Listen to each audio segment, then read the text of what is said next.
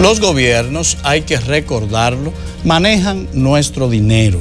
Los gobiernos no producen lo que necesitan para existir, lo hacen de lo que producen los otros y los otros somos los ciudadanos. La idea básica es que decidimos transferir a través de impuestos una parte de nuestra riqueza para ser gastada o invertida en los temas de interés colectivo que no pueden ser abordados de forma privada. El presupuesto del país básicamente está compuesto en cada una de sus partidas con dinero ajeno. El administrador de lo ajeno debe ser escrupuloso y rendir cuentas. ¿Cómo es posible que se dilapide sin consecuencias en este país?